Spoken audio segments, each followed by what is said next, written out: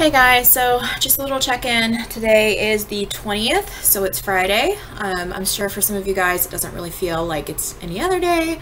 Um, but again, one of the things that we have to keep in mind is that we need to keep a schedule, we need to keep some normalcy.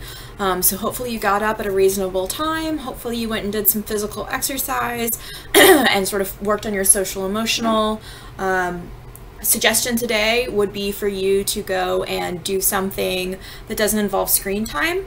So you know that you've got some assignments for me. I know that today I think is science day. On Fridays is science, I think.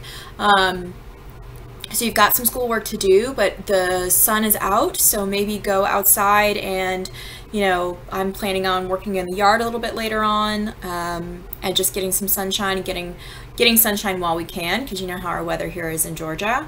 Um, as always, I'm here if you need me. I've got my Google Meet open um, and my email is open, so just let me know if you need anything and I hope you guys are doing okay.